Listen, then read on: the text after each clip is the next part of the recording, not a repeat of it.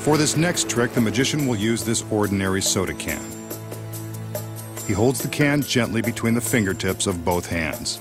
He blows on the can, and suddenly it begins to rise.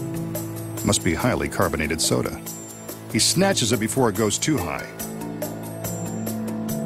Wait, now it's trying to escape again. If he's not careful, it will fly away for good. Looks like he's got it under control. Who knew that soda could be lighter than air? How did the magician make the soda can float? This secret isn't too hard to put your finger on. From the back, you can see that the can is actually attached to his right thumb by a flesh-colored plastic shell that magicians call a thumb tip. When his thumb is inside this tip, it's virtually invisible. At the end of the thumb tip is a clear rubber suction cup. This cup sticks to the can and the magician is ready to create the illusion that the can is floating. From this angle, we can see that all he's doing is lifting the can with his thumb.